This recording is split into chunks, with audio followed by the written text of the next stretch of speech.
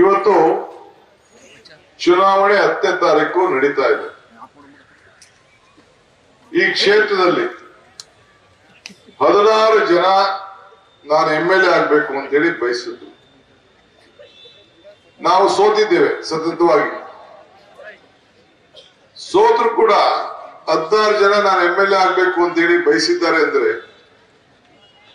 ಅಂಬರೀಶ್ ಅವರು ಸ್ಥಾನ ಖಾಲಿ ಆದ್ಮೇಲೆ. ಎರಡು ಬಾರಿ. ಇವತ್ತು ಪಕ್ಷ ಮತ್ತು ನಿಮ್ಮ ಮೇಲೆ ಒಂದು ದೊಡ್ಡ ನಂಬಿಕೆ. ಕಾಂಗ್ರೆಸ್ ಪಕ್ಷ ಕೂಡ ಇವತ್ತು ನಂಬಿಕೆ ಇದೆ. ಇವತ್ತು ತಮಗೆ ನಾನು ಕೇಳಿದ ಇಷ್ಟೇ. ಹದಿನಾರು ಜನರಲ್ಲಿ ಒಂದು ಹತ್ತು ಜನ ರವಿಯಕ್ಕಿನ್ನ ಸೀನಿಯರ್ ಇದ್ದವರು, ರವಿಕಿನ್ನ ಭಾರತ ಇರೋರು ಇದ್ರು ಅನ್ನೋದ್ರಲ್ಲಿ ಯಾವ ತರದ ಅನುಮಾನ ಕೂಡ ಇಲ್ಲ. ಕಳೆದ ವಿಧಾನಸಭಾ ಚುನಾವಣೆಯಲ್ಲಿ ಈ ಜಿಲ್ಲೆಯಲ್ಲಿ ಬಹಳ ಕಡಿಮೆ ಅಂತರದಿಂದ ಸೋತಿದ್ರು. ಸೋತಾದ್ಮೇಲೆ ಎಲ್ಲ ಅವ್ರ ಕೈಲಿ ಶಕ್ತಿ ಮೀರಿ, ಅವರೇನ್ ದೊಡ್ಡ ಆಗರ್ಭ ಶ್ರೀಮಂತ ಕುಟುಂಬದವರೇನಲ್ಲ ರಾಜಕೀಯದ ಹಿನ್ನೆಲೆಯಲ್ಲ, ಅವ್ರ ಕೈಲಿ ಏನೋ ಒಂದು ಅಷ್ಟೋ ಇಷ್ಟೋ ಶಕ್ತಿ ಮೀರಿ ಗ್ರಾಮ ಪಂಚಾಯತಿ, ಮುನ್ಸಿಪಾಲಿಟಿ, ಕೊರೋನಾ ಸಂದರ್ಭ, ಇದನ್ನೆಲ್ಲ ಪ್ರಾಮಾಣಿಕವಾಗಿ ಸೇವ್ ಮಾಡುದು. ಸ್ವಲ್ಪ ವಯಸ್ಸು ಚಿಕ್ಕದು ಬಿಸಿ ಮಾತು, ಸ್ವಲ್ಪ ದಪ್ಪ ಕಾಣ್ತಾರೆ. ಕೆಲವ್ರು ಇಡಿಸ್ಬೋದು ಕೆಲವ್ರು ಇಡಿಸ್ತೇ ಇರ್ಬೋದು. ನಾನು ಕೂಡ ಹಂಗೆ ಕರಿತಿದ್ರು. ನಾನು ಕೂಡ ಇದೇ ರೀತಿ ಬೇಕಾದಷ್ಟು ಮಾತಾಡ್ತಿದ್ರು.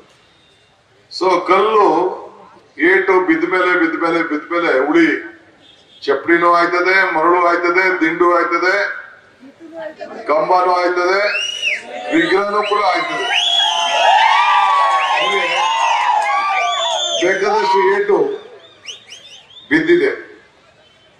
ಈಗ ನನಗೆ ಒಂದು ಏನು ಸಂತೋಷ ಅಂದ್ರೆ, ಎಲ್ಲ ನಾಯಕರುಗಳು, ಈಗ ತಾನೇ ಡಾಕ್ಟರ್ ಕೃಷ್ಣ ಅರ್ಜಿ ಹಾಕಿದ್ದಾರೆ, ಅವ್ರಿಗೂ ಮಾತಾಡಿದೆ.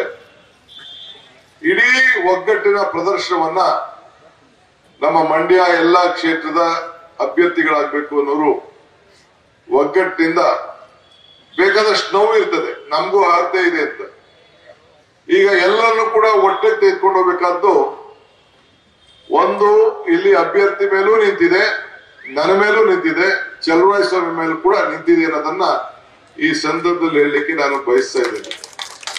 ಸೊ ಎಲ್ಲರಿಗೂ ಕೂಡ ಸರ್ವರಿಗೂ ಸಮಬಾಳು ಸಮಪಾಳು ಅಂತೇಳಿ ಎಲ್ಲರೂ ಕೂಡ ಯಾರ ಸ್ವಾಭಿಮಾನಕ್ಕೂ ಧಕ್ಕೆಗೂ ಅಗೌರವ ಬರೋ ರೀತಿಯಲ್ಲಿ ನಾವು ನೋಡ್ಕೊಂಡು ಹೋಗ್ಬೇಕಾಗಿದೆ. ಮಂಡ್ಯ ಕ್ಷೇತ್ರದಲ್ಲಿ ಯಾವ ತರದ ಗೊಂದಿಲ್ಲ. ನಾನು ಜನತಾದಳದ ವಿಚಾರ, ಬಿಜೆಪಿ ವಿಚಾರ ನನಗೆ ಮಾತಾಡೋ ಅವಶ್ಯಕತೆ ಇಲ್ಲ. ಶ್ರೀರಂಗಪಟ್ಟಣದಿಂದ ಒಬ್ಬರು ಹಾಕಿರ್ಬೋದು, ಮತ್ತು ಮೇಲ್ಕೋಟೆಯಿಂದ ಇನ್ನೊಬ್ರು ಬಂದು ಅರ್ಜಿ ಹಾಕಿರ್ಬೋದು. ಆದ್ರೆ ಮಂಡ್ಯ ಕ್ಷೇತ್ರದ ಬಹಳ ಸ್ವಾಭಿಮಾನಿಗಳು ಕೂಡ ಇದ್ದಾರೆ. ಎಂತೆಂತ ನಾಯಕರುಗಳನ್ನೆಲ್ಲ ಪಲ್ಟಿ ಓಡಿಸಿದಂತ ಇತಿಹಾಸ ನಾವೆಲ್ಲ ನೋಡಿದ್ದೇವೆ ಈ- ಜಿಲ್ಲೆ ಸಮಸ್ಯೆ.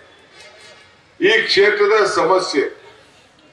ನಿಮ್ಮ ಈ ಕ್ಷೇತ್ರದ ಹೃದಯ ಭಾಗ ಮೈ ಶುಗರ್ ಕಂಪನಿ.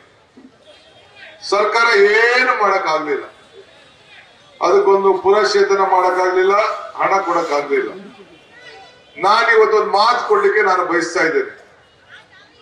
ನನಗೆ ನಿಮ್ಮೆಲ್ಲರ ಆಶೀರ್ವಾದದಿಂದ ಒಂದು ಶಕ್ತಿ ಕೊಡ್ತೀರಿ ಅಂತ ನನಗೆ ಭರವಸೆ ಇದೆ. ಆ ಶಕ್ತಿ ಕೊಟ್ಟಂತ ಸಂದರ್ಭದಲ್ಲಿ ನಿಮ್ಮ ಏನು ಶುಗರ್ ಕಾರ್ಖಾನೆಗೆ ಒಂದು ಶಾಶ್ವತವಾದಂತ ಪರಿಹಾರ ಒದಗಿಸ್ಕೊಡಂತ ಕೆಲಸ ಈ ಡಿ ಕೆ ಶಿವಕುಮಾರ್ ಮಾಡ್ತಾನೆ ಅನ್ನೋ ಮಾತನ್ನ